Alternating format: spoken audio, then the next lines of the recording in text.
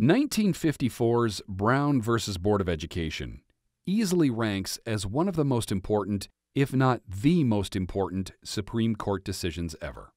There, the court ruled that the separate but equal doctrine that had passed for equal protection for over half a century was itself unequal, and that racial segregation in public education was unconstitutional. A year later, the case returned to the court in what is commonly called Brown 2, as the court considered appropriate remedies.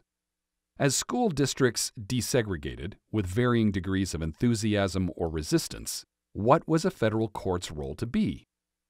Parents of several African American students had challenged racially segregated public schools in state and federal courts nationwide.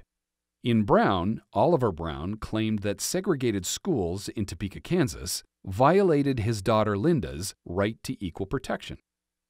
After a three judge district court panel applied Plessy v. Ferguson and upheld the district's racial segregation, the Supreme Court took up the case, then issued its famous decision. The court's decision was unprecedented in scope.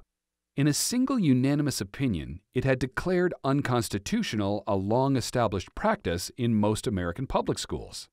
Some schools would dutifully and voluntarily desegregate, but many would fight desegregation tooth and nail. The court knew this, so its decision closed by setting the case for re argument regarding the appropriate remedy for this systematic segregation.